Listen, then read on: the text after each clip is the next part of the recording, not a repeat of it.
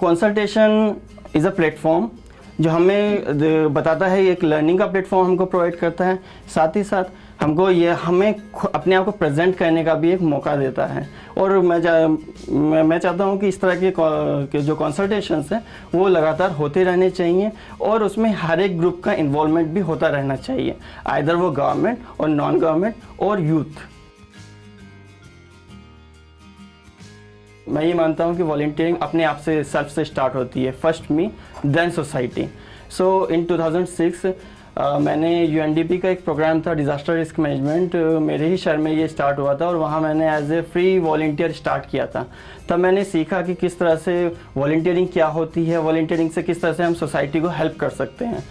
Fortunately अभी uh, 2015 में मुझको एक अपॉर्चुनिटी मिली एज ए यू एन जिसमें मैं जो जो मैंने सीखा था एज वॉल्टियर वो मैं इम्प्लीमेंट कर सकता था यूथ के साथ में। अगर मैं यूथ को एक मैसेज देना चाहूँगा, अगर वो वॉल्टियरिंग करते हैं या फिर नहीं भी करते हैं तो उनको वॉल्टियरिंग करनी चाहिए। और यूनाइटेड नेशन को एक ऐसा प्लेटफॉर्म प्रोवाइड करता है, जिससे वो खुद की लर्निंग भी करते हैं सोसाइटी सोसाइटी की भी डेवलपमेंट की भी बात करते हैं, और साथ साथ अपने नेशन बिल्डिंग की भी बात करते हैं।